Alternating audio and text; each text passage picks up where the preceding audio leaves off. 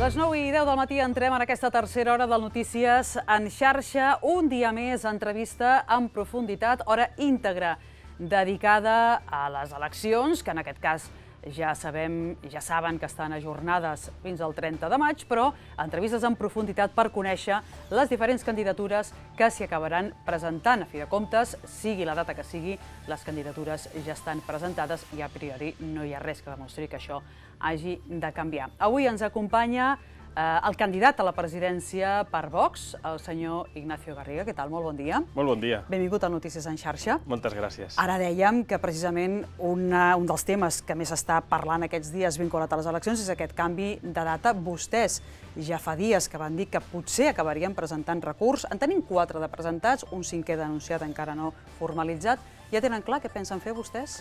Pues la veritat, encara no. Eh, els serveis jurídics ho estan estudiant. Nosaltres vam dir que no presentaríem un recurs perquè sí, només per buscar el titular, sinó si hi, ha, si hi havia no, fonaments jurídics per tirar-ho endavant, ho faríem. Per tant, encara estem esperant eh, l'opinió dels serveis jurídics del partit i de moment puc dir que nosaltres no presentarem recurs. També és cert que hi ha un d'aquests recursos presentat per una persona en particular, un advocat, a mesures cautelaríssimes, que és el que fa que el TCJ hagi d'accelerar una mica la màquina a l'hora de prendre una decisió al respecte, una decisió que podem conèixer segurament en menys de 24 hores. No sé si en base al que digui el TCJ en les properes hores bascularà la decisió final de vostès. No, yo creo que no dependerá de que el tribunal se pueda pronunciar en las próximas horas, sino que realmente, como he dicho, si hay fundamento jurídico para poder impugnar esta decisión, que por supuesto consideramos política y en ningún caso sanitaria, eh, lo tiraremos para adelante. Parlem de, parlem de projectes, parlem de programes i parlem dels vots que vostès volen recabar i que volen recollir entre la ciutadania. Eh, per aclarir una mica les idees, clar, hi ha molta gent que els alinea amb el Partit Popular, que els alinea fins i tot amb Ciutadans. Vull dir, què els diferencia d'aquests partits, que també són de, de, de dretes, com podria ser el seu? Bueno, está claro que nosotros no tenemos absolutamente nada que ver ni con el Partido Popular ni con Ciudadanos, a pesar de que muchos medios... Pero tienen puntos en común. Sí, pero a pesar de que nos intenten enmarcar en su, ¿no? en su cuadro ideológico, no tenemos nada que ver. ¿Y por qué digo eso? Nosotros nos presentamos a estas elecciones catalanas para liderar una alternativa, para dar voz a, ese, a esos millones de catalanes que están hartos de las consecuencias nefastas de la mafia separatista.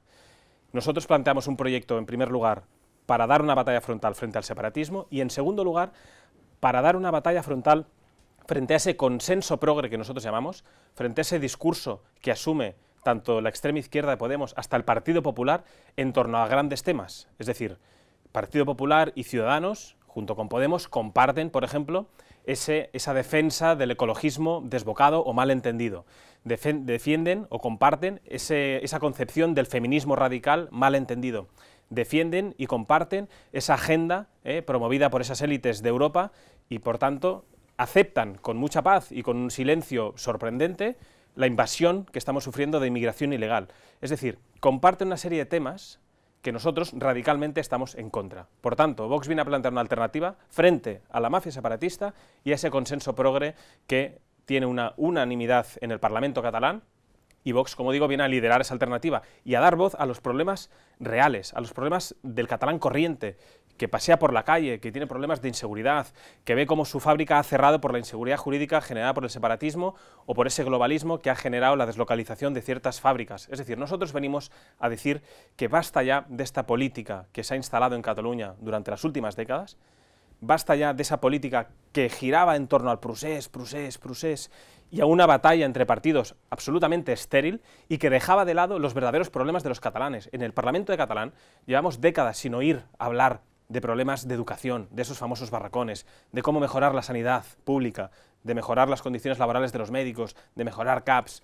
Vemos cómo no se habla de la necesaria inversión en vivienda de protección oficial, por ejemplo, o, por ejemplo, garantizar la seguridad en las calles. Es decir, nosotros venimos a llevar los problemas de los catalanes corrientes a la tribuna del Parlamento catalán, frente a esa política de moqueta, de políticos, de privilegios, viene Vox a irrumpir en el Parlamento catalán y a poner una serie de debates que hasta ahora ningún partido había tenido la valentía, al menos, de plantearlos desde principio a fin i con toda naturalitat.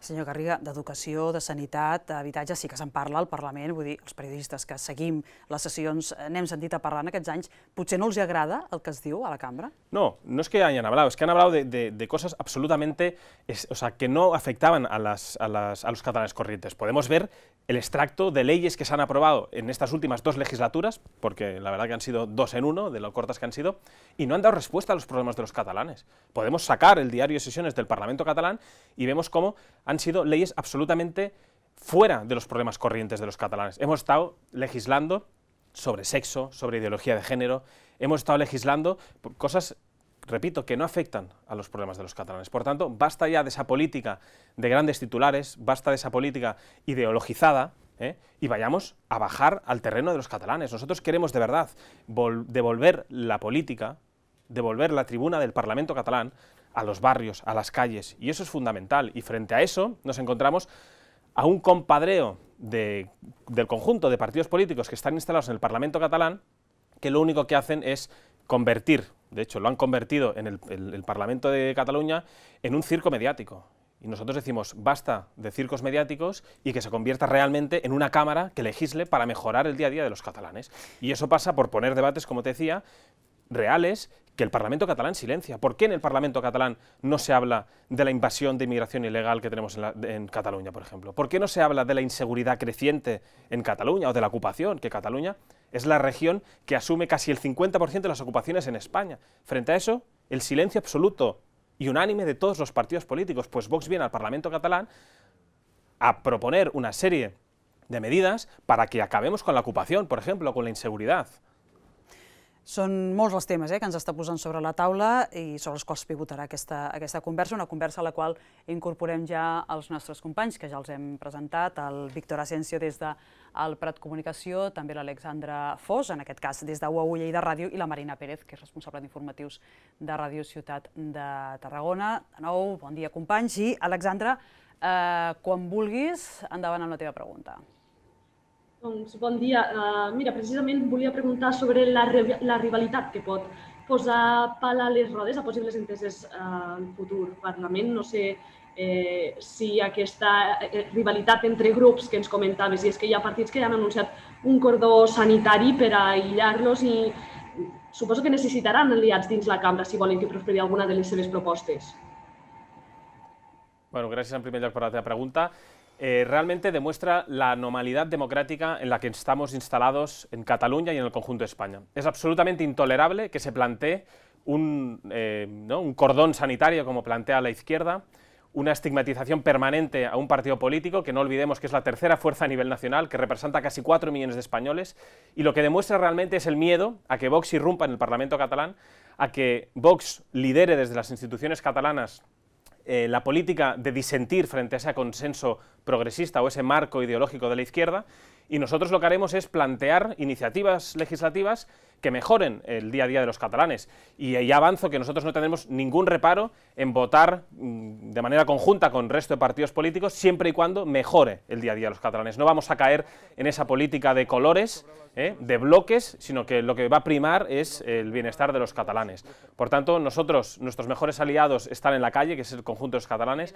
No venimos a contentar al, al grueso de partidos políticos que están en el Parlamento, ni mucho menos a los periodistas o tertulianos que a diario nos estigmatizan, nos insultan, y nos demonizan, sino, como he dicho, venimos a llevar la voz de los catalanes a la tribuna del Parlamento catalán. Y, por tanto, tendrán que elegir el resto de partidos políticos con quién están, si con los catalanes o con el grupo de, políticos o de tertulianos, como he dicho, de periodistas, que lo único que, quieren es estigmatizar y demonizar una formación política que, como he dicho, viene en definitiva a dar voz al conjunto de los catalanes. expliques, donaria suport a, a una hipotètica aliança de partits constitucionalistes si es donés doncs, el cas, o com a mínim la facilitarien?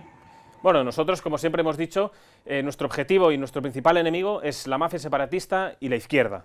Por tanto, en caso de que se llegue a sumar esas mayorías necesarias, nosotros plantearemos nuestro programa electoral, nuestros mínimos exigibles y a partir de ahí pues veremos qué mayorías se conforman. Pero está claro que si me está planteando si nosotros podríamos apoyar, por ejemplo, al Partido Socialista del señor Illa, yo le tengo que decir que ellos ya han elegido quiénes son sus socios. Son el partido de ETA y son los separatistas. No hay que olvidar que está muy claro que el señor Illa y el PSC vienen a reeditar el tripartito, que no engañen a nadie.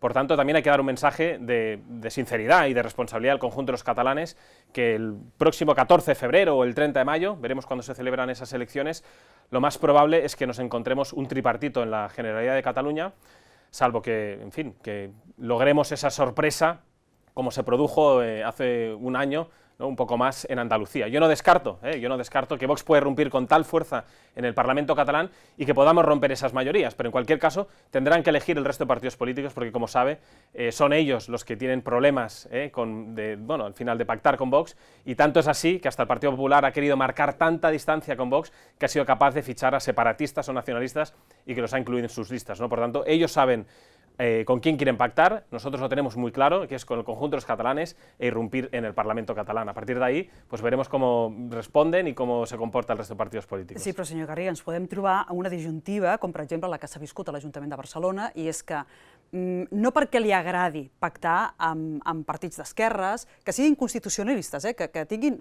punts en comú amb el seu ideari, però per evitar un govern independentista, que es podria tornar a donar, afavorir aquest bloc constitucionalista. Vostès s'ho plantegen, com el que va fer el senyor Manel Valls a l'Ajuntament de Barcelona, s'ho plantegen? Bueno, es que no votar a favor, però, com a mínim, potser abstenir-se o afavorir. Bueno, es que nosotros ya, para empezar, no consideramos al Partido Socialista un partido constitucionalista.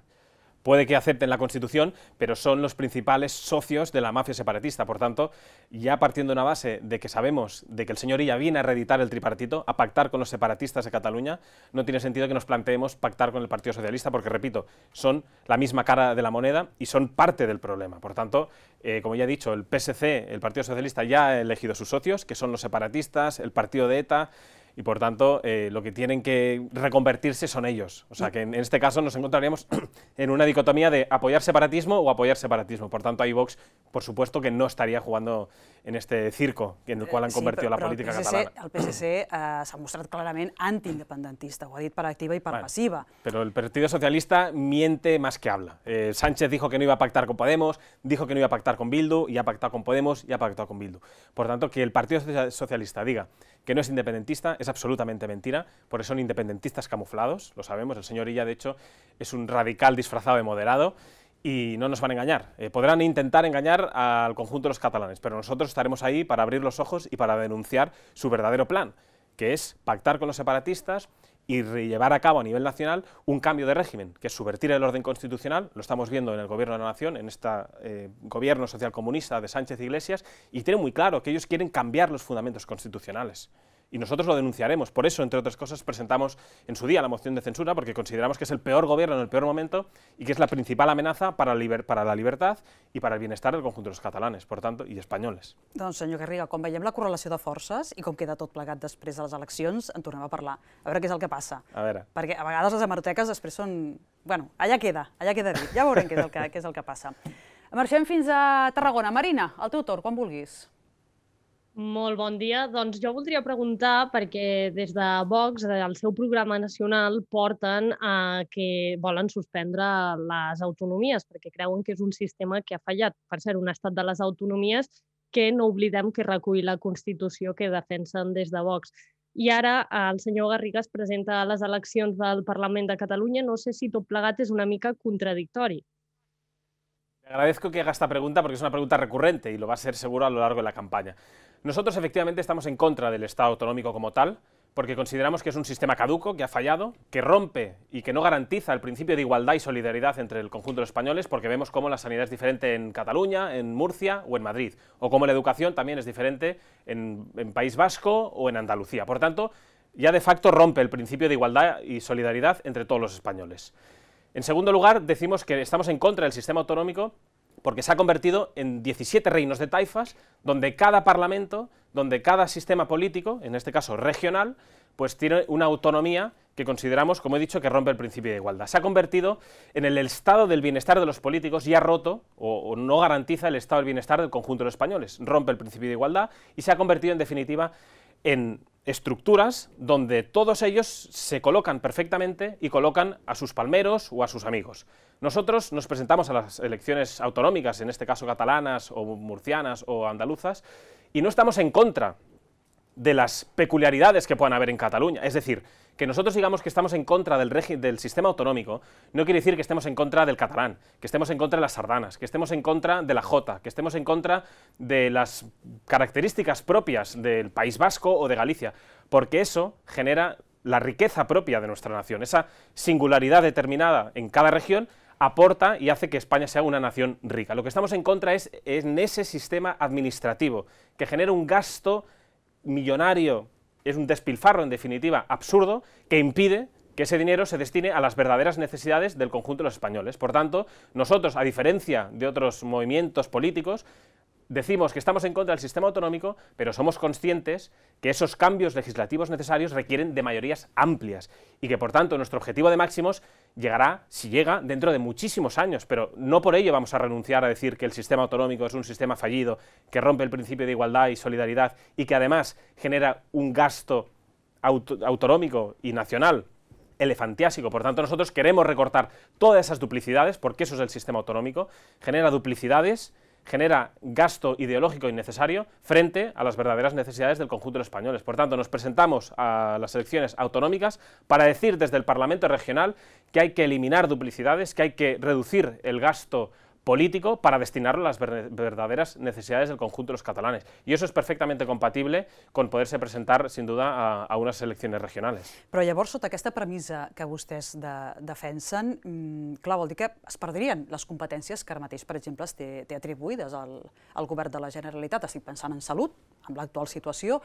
Eh, és més fàcil gestionar àreas com salut o com educació a 600 kilómetros de distancia. Sí, sin duda. Nosotros, de hecho, y le retomo la pregunta... Y no, perdó, y no per Cataluña només, sino sí, per toda, toda la resta del territori. Sí, sí, Nosotros lo hemos dicho siempre. Nosotros estamos en contra del sistema autonómico porque, como he dicho, genera desigualdad y rompe el principio de solidaridad.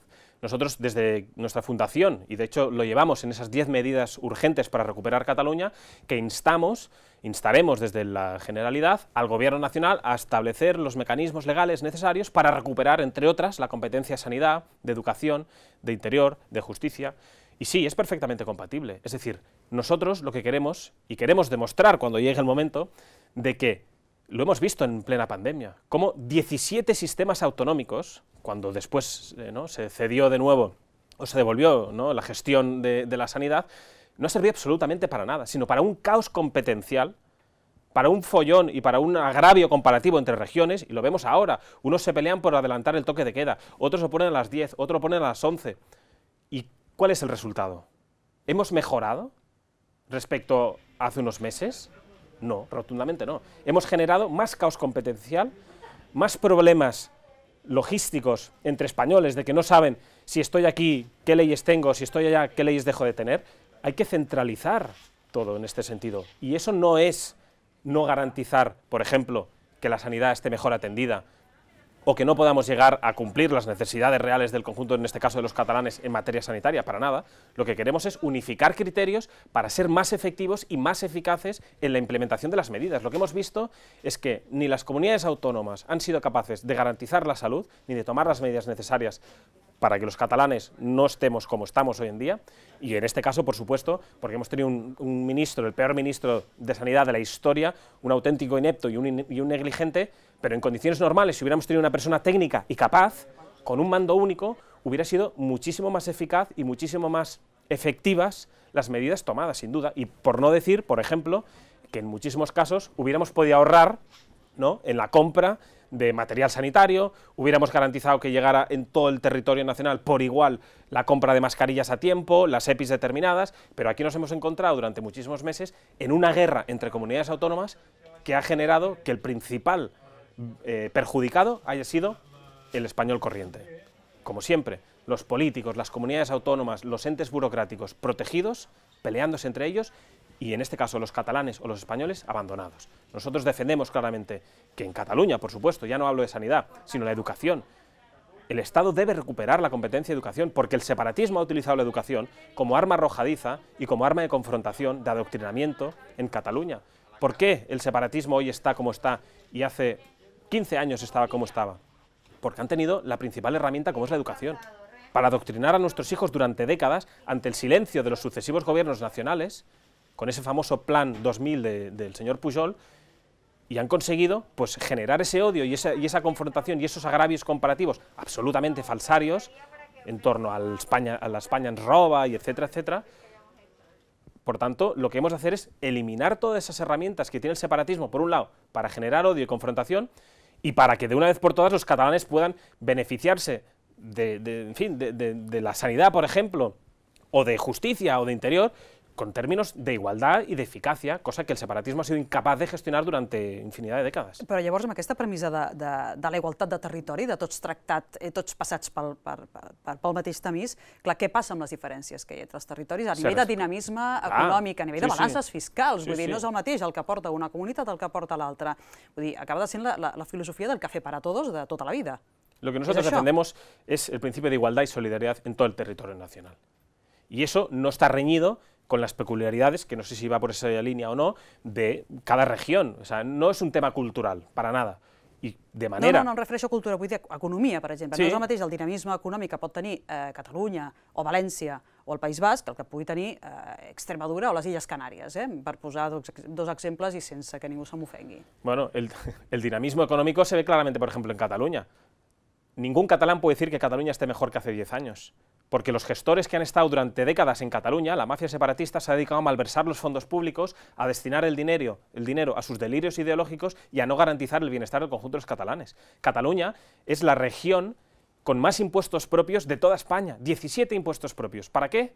Para pagar al señor Puigdemont, la casa en Waterloo, para pagar a la ANC, para para pagar a Omnium Cultural, Mientras que, por ejemplo, en Madrid, en Murcia o en otras regiones no tienen tantos impuestos y están garantizados, mejor todavía, los servicios básicos. Por tanto, nosotros, respecto a las catalanes, les queremos decir, miren, nosotros queremos recuperar las competencias para garantizaros la igualdad en términos sanitarios, en términos educativos, respecto a vuestros compatriotas del resto de España. Y ahora, tal y como está el sistema, y además, secuestrado por la mafia separatista, no estáis igual que en otras regiones. Por tanto, lejos de ese dinamismo económico que usted me hacía referencia, yo estoy convencido que el recuperar competencias garantiza que todo el mundo tenga el mismo acceso a sanidad, a viviendas de protección oficial, a, una educación de calidad, sin duda. Y frente al caos autonómico que genera desigualdad i falta de solidaritat.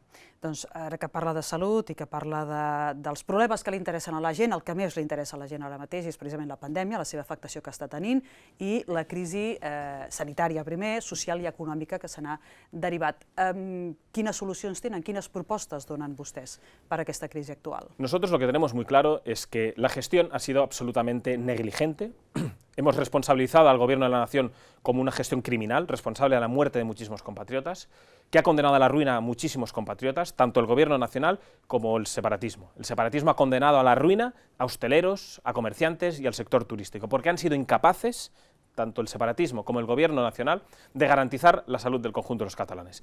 Nos han hecho elegir entre salud o economía. Han sido incapaces de garantizar la salud y, por tanto, nos han condenado a la ruina. Nosotros tenemos un plan perfectamente diseñado y que estamos convencidos que será eficaz. No tiene sentido que nos condenen a estos arrestos domiciliarios, que condenen al cierre a muchísimos comerciantes y lo que hay que destinar es todos los recursos económicos de los que dispone el Estado, y en este caso eh, la región o el presupuesto de la Generalitat, acabar con esta crisis, con esta emergencia sanitaria. Hemos de acabar con el gasto superfluo político de subvenciones, de altos cargos y demás, para destinarlo todo a la crisis sanitaria, y eso pasa por hacer test masivos, por hacer rastreos de verdad y en condiciones, y sobre todo para desarrollar un plan de vacunación en condiciones. Actualmente ni tenemos testeos masivos, ni tenemos rastreos en condiciones, la única alternativa es arrestos domiciliarios y cierre de comercios. Se culpabiliza al catalán o al español corriente del responsable de los contagios. Esto es gravísimo. Y tenemos que ver cómo la responsabilidad que les pertoca a los políticos, en este caso a la consellera, eh, a la nefasta consellera de Salud de Cataluña o al nefasto ministro de Sanidad, el señor Illa, se le traslada la responsabilidad al español corriente, y no. Es su responsabilidad y ellos tienen que garantizar la salud y garantizar la economía. Y no han hecho ni, testeos masivos ni rastreos. Por tanto, si hacemos un plan, como ha dicho, por ejemplo, el señor Uriol Michá, que no creo se le puede catalogar de que sea muy de Vox, para nada, pero es un tío que tiene muy claro lo que se necesita en este momento, y los políticos están más preocupados por otras cosas que por garantizar la salud. Por tanto, nosotros lo primero que haremos al llegar al, al gobierno de la Generalitat es hacer testeos masivos en colegios, residencias, servicios esenciales y, por supuesto, un plan de rastreo para garantizar que aquellas personas que hayan estado en contacto con un positivo se confinen. Lo que hemos de hacer es confinar a los que están positivos y no a los que están sanos. Y aquí lo que tenemos actualmente y la política sanitaria que llevan desarrollando desde los últimos meses es absolutamente un caos sin ningún tipo de liderazgo, donde cada comunidad autónoma hace lo que puede. Y lo que hemos visto aquí, ¿cuál ha sido? Cierres perimetrales, sin ningún sentido, generando agraves comparativos y, por tanto, condenando a la ruina a ciertos sectores. Tocaba en Barcelona a todos los pequeños comerciantes, a los hosteleros, decidieron arruinar al poco movimiento económico que ya tenían en el Pirineo, en las pistas de esquí, luego decidieron confinar el... en fin, se ve claramente que no tienen un plan claro y que van haciendo lo que les surge en cada momento. Frente a eso, nosotros reivindicamos un liderazgo que nosotros tenemos, de hecho, seguramente somos la única lista electoral que presenta un equipo técnico, capacitado, que está dispuesto a llevar un plan de gobierno eficaz y real, y entre otras cosas, llevamos en nuestros puestos de salida a un anestesista de Belviche, que ha estado perfectamente inmersa en la pandemia, que tiene muy claro cuál es el plan que debemos desarrollar y lo que primero que haremos es desarrollar un plan de contingencia sanitario, que es lo que debería haber hecho la mafia separatista y no ha hecho y por tanto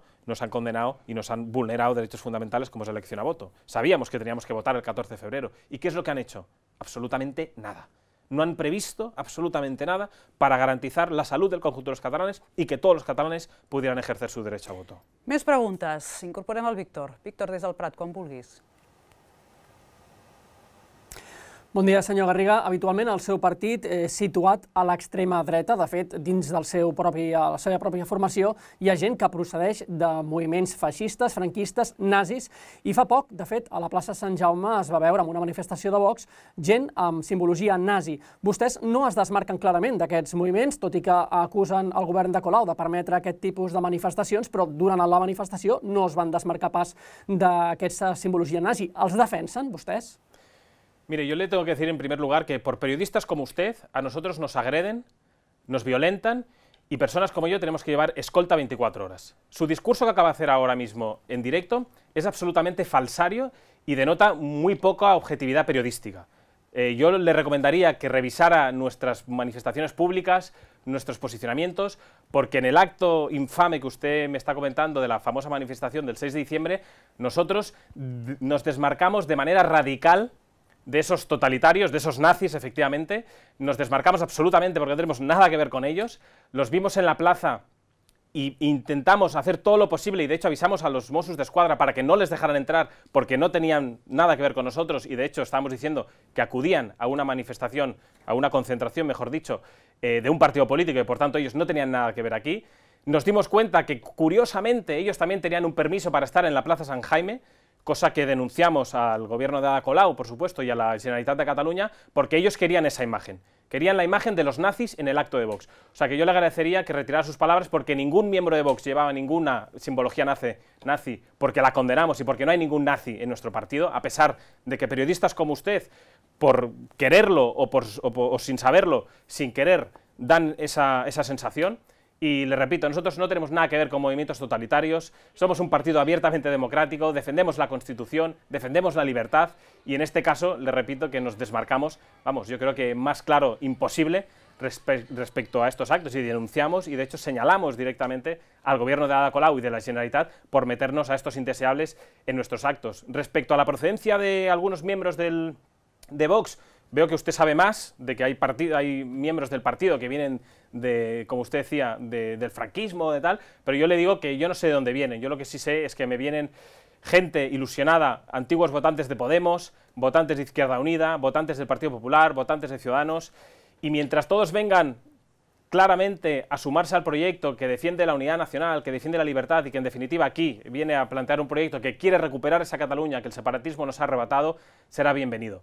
Hecho en falta, eh, de alguna manera, que por ejemplo no se critique o que se mantenga un silencio atronador ante un ministro que se ha declarado abiertamente comunista, como es el señor Garzón, un ministro que dice liderar una ideología criminal, responsable de la muerte de millones de personas, y no se le señale y sin embargo se nos acusa a nosotros de algo que no somos, pero que permanentemente se nos está señalando y estigmatizando. Por tanto, niego absolutamente sus palabras y le, reitero que condenamos esos actos, nos desmarcamos de manera absoluta porque, reitero, no tenemos nada que ver con ellos. Un moment, eh, Víctor, un momentet. Eh, però vostès tenen proves de que el govern d'Ada Colau va ser qui va posar aquestes persones sí, allà, com sí, vostè sí, està sí. dient? Hay pruebas de, de, de, de WhatsApp. Perquè les imatges són les que són, senyor Garriga. Sí, sí, Vull dir, nosaltres, nosaltres no, no. ens ensenyim a, a aportar allò que veiem. Sí, pero yo he dicho claramente que no tenían nada que ver con nosotros y hay imágenes donde se ve que nuestro jefe de seguridad le está diciendo a los Mossos de Escuadra que no les deje entrar porque no hacen nada en nuestro acto. Y esto son imágenes que también sería bueno sacarlas.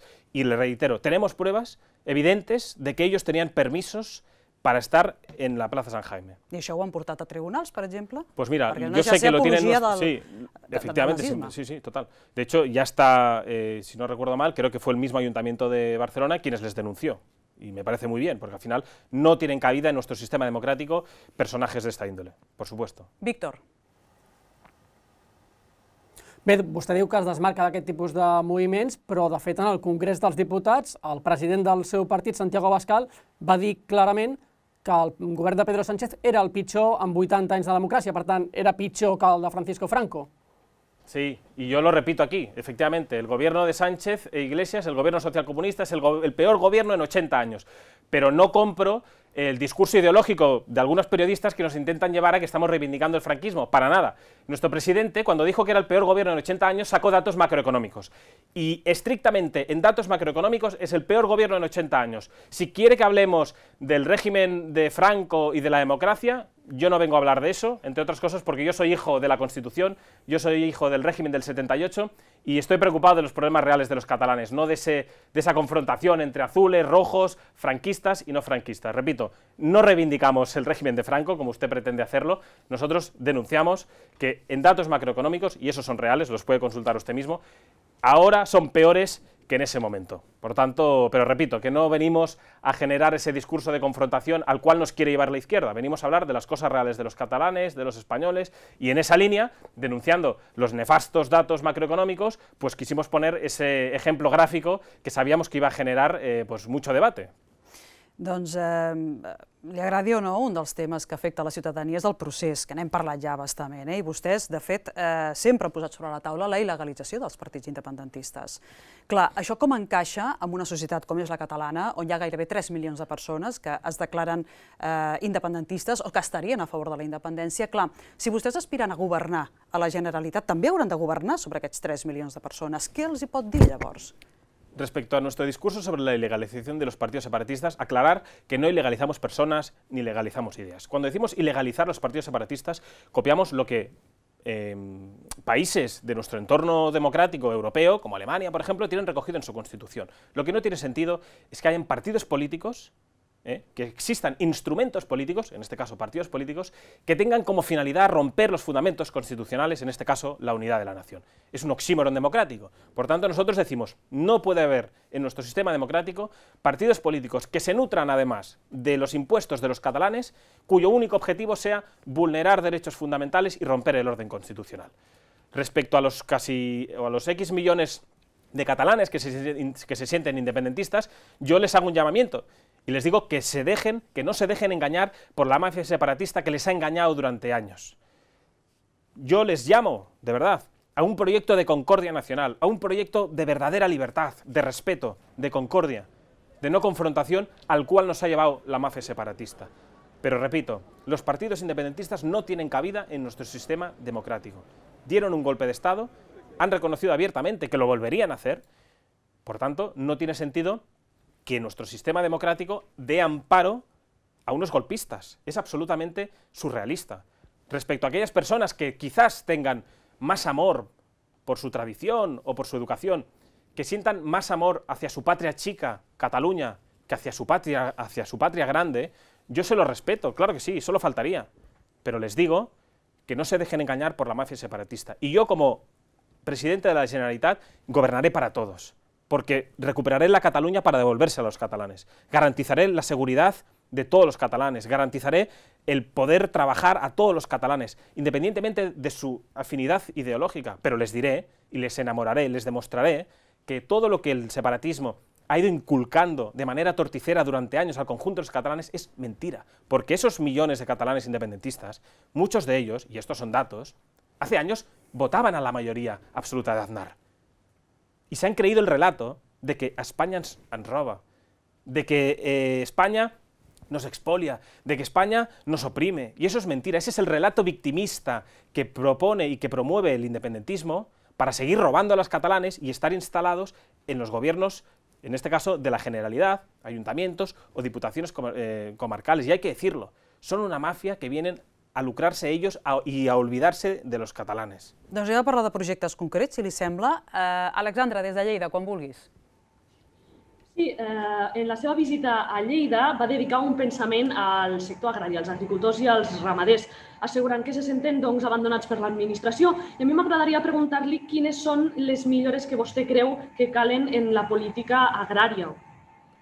Pues la verdad, eh, en primer lugar, lo que hay que tener es política agraria, que en Cataluña durante décadas no ha existido ningún tipo de política agraria. Yo palpé de primera mano cómo los agricultores están absolutamente abandonados. Eh, tanto eh, el sector vacuno, tanto los que, en fin, eh, que trabajan directamente con frutas, con hortalizas, pero su principal problema ya no es tanto la política de abandono de la Generalitat, que también, sino es cómo se enfrentan a esos terceros países que con total impunidad importan sus productos sin tener, por ejemplo, los mismos requisitos que se les exige a nuestros productores en Cataluña o en el conjunto de España, y nosotros en esa línea sobre todo daremos una batalla a nivel nacional y a nivel europeo para dar voz al conjunto de los catalanes. Es decir, lo que no tiene sentido es que entren productos extracomunitarios, de alguna manera realizando una competencia desleal a nuestros productos, que nuestros productores vean cómo esos productos llegan aquí a un coste ínfimo, mientras su coste de producción es elevadísimo.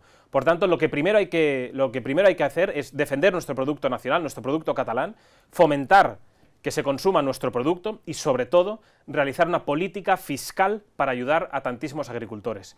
Las, los famosos burócratas y las élites europeas asfixian a nuestros productores con normativas, con leyes que les ahogan y que les obligan a realizar un desembolso mayor para condicionar todas sus plantas y toda su producción a todas esas normativas. Lo que nosotros decimos es, en primer lugar, que esas normativas sean iguales para toda Europa, que pongamos filtro a esos productos que vienen de terceros países y, en segundo lugar, que si realmente consideramos que esas leyes hay que asumirlas y hay que adoptarlas, hay que hacer el traspaso a nivel nacional, lo que hemos de hacer es facilitar de manera fiscal al conjunto de esos productores para que no sufran esa asfixia de impuestos y que realmente se puedan adoptar y comprar maquinaria o adaptar sus campos para poder, de alguna manera, competir en precio, que es el gran problema que sufren eh, las tierras de, de Lleida, como pueden ser de Tarragona, de Barcelona o de Gerona. O sea que sobre todo y fundamentalmente van a ser ayudas fiscales para ayudar eh, a dinamizar eh, la producción y sobre todo que no tengan esos grandes impactos de diferencia de precio respecto a productos extracomunitarios. Mm. D'altra banda, una altra qüestió que preocupa al territori, eh, sobretot a les zones rurals, és aquest despoblament que fa temps que s'arrossega. M'agradaria preguntar-li quin és el camí que creu que s'ha d'emprendre doncs, per frenar aquesta manca de gent que cada vegada és eh, més visible en aquests territoris. Pues efectivamente, la despoblación yo creo que es una de las grandes lacras que sufre España y especialmente Cataluña. Lo que primero hay que hacer es sobre todo eh, reivindicar las provincias. Es decir, durante años vemos cómo el separatismo ha tirado de ese centralismo de Barcelona, despreciando a tierras como pueden ser de Lérida, de Gerona o de Tarragona, generando unos agravios comparativos y desigualdades palmarias, y lo que hay que hacer es tener más presencia en las provincias determinadas, en este caso estamos hablando de Lérida, pero repito, puede ser extrapolable a Tarragona y a Gerona, y por supuesto, aparte de tener más presencia institucional en esas tierras, mayor inversión. Y cuando digo mayor inversión, quiere decir que la Generalitat, por desgracia, siempre empieza por Barcelona y acaba siempre por Lérida o por Tarragona quizás en algunos momentos pues había que replantear o hacer una política en la línea de lo que yo reivindicaba, de esa igualdad en todo el territorio, pues la igualdad en todo el territorio catalán, que se realice realmente una inversión igual ¿eh? por ejemplo, en materia de vivienda y protección oficial, en materia educativa, en materia sanitaria, y, no, y de alguna manera acabar con ese centralismo que ha liderado el separatismo durante décadas, donde parece que solo había que invertir en Barcelona y, despreciar a, otras tierras. ¿no? Por tanto, en la medida en que generemos mayor inversión en otras provincias, estoy convencido que facilitaremos que los jóvenes y que las familias pues, no tengan que irse de Lérida porque se encuentran que no tienen nada y que todo está en Barcelona.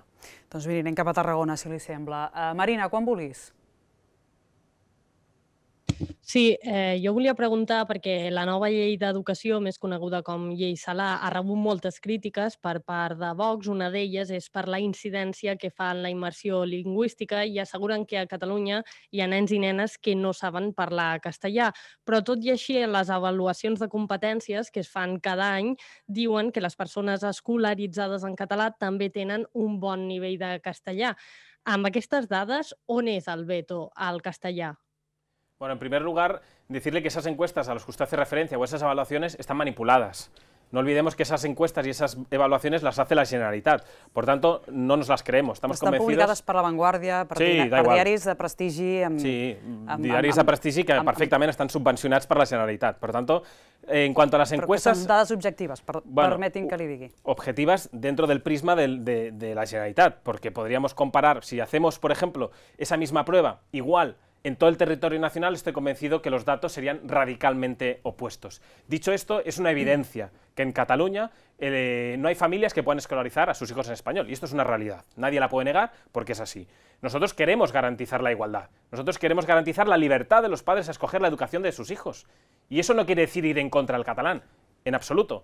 Defendemos la libertad, y la libertad pasa porque un padre puede elegir la escolaridad de sus hijos. Y por supuesto, hemos de garantizar, como españoles que somos, que el conocimiento de la lengua común sea buena. Y en Cataluña, a pesar de esos índices de evaluación que usted me hacía referencia, que repito, son absolutamente manipulados y son mentira, eh, hay que garantizar que los niños salgan con un idioma perfectamente bueno y que lo conozcan perfectamente la ortografía, la gramática, etcétera, etcétera. Por tanto, nosotros vamos a dar una batalla de verdad en contra la ley CELA, por supuesto, y sobre todo en contra el proyecto de, la mal llamada inmersión lingüística, que a mí me gusta llamarlo mejor la inmersión separatista, porque genera confrontación, odio y utiliza la lengua como arma arrojadiza frente, eh, a, por ejemplo, al español. Yo repito, no tenemos nada en contra del catalán, al revés, es una riqueza cultural necesaria en nuestro territorio, pero hay que garantizar el principio de libertad y de igualdad, y sobre todo garantizar que el conocimiento del español esté en condiciones. Y hoy en Cataluña no es así. Tanto es así que hasta si un comercio rotula en castellano, le increpan. Tanto es así que si algunos diputados utilizan el castellano en la tribuna del Parlamento o en ciertos medios de comunicación como este TV3, siempre sale alguien diciendo que en TV3 se utiliza demasiado el español. Por tanto, vemos realmente que a pesar de que aquí se intente normalizar o decir de manera mentirosa y torticera que se puede estudiar en español con naturalidad y que los catalanes tienen un nivel de español muy bueno, es mentira, porque lo vemos claramente con estos ataques y con esos complejos del separatismo en torno a la lengua común. Por tanto, niego la mayor, la verdad. ¿eh? Eh, una última pregunta, en aquest cas. Víctor, quan vulguis. Parlant d'un altre tema important, com és la violència masclista, en els darrers anys, des de 2009, s'han fet més d'un milió i mig de denúncies per part de dones que patien violència masclista.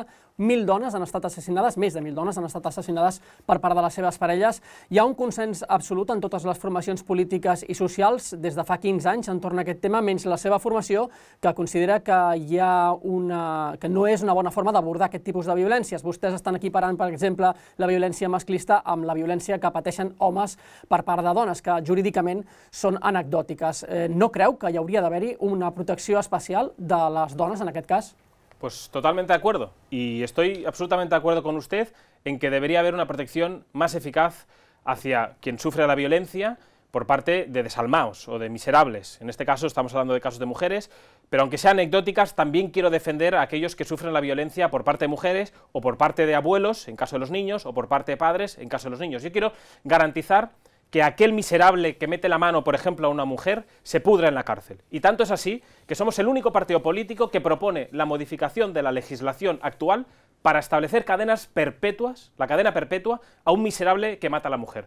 Por tanto, todos aquellos progres, todos aquellos partidos políticos que pretenden demonizarnos diciendo que no defendemos a la mujer, les digo que apoyen nuestra propuesta en el Congreso de los Diputados y que legislen a favor de meter en cadena perpetua a esos miserables. Por tanto, no voy a aceptar ningún discurso de ningún partido político donde se nos atribuya el negacionismo, porque como hemos dicho, nosotros defendemos acabar con la violencia, sea del tipo que sea, y vaya hacia donde sea. En este caso, como he dicho, hacia la mujer, hacia el hombre o hacia un niño. Y repito, tanto protegemos a la mujer que proponemos la modificación de la legislación para que el miserable que meta la mano o mate a una mujer se pudre en la cárcel, porque es donde ha de acabar. Y en ese caso, espero que el resto de partidos políticos que tanto se llenan la boca, que salen a manifestaciones progres del 8M, se dejen de tanta palabrería y que voten para garantizar la seguridad del conjunto de las mujeres, de los hombres y de los niños y que dejen de dar titulares y de estigmatizar a los que de verdad queremos acabar con la violencia, con la delincuencia que és Vox, que és el partido, com hemos dicho siempre,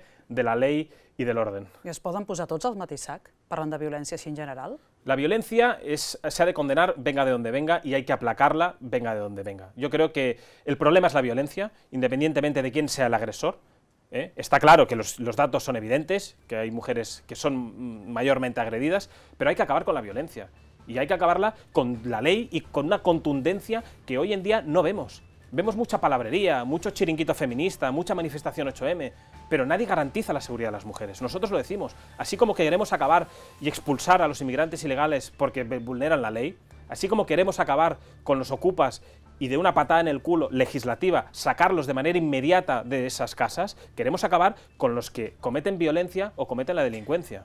Ignacio Garriga, no tenim temps per més, ens esgota ja aquesta hora. Gràcies per haver vingut. A vosaltres. Que vagi molt bé. Moltes gràcies. Molt bon dia.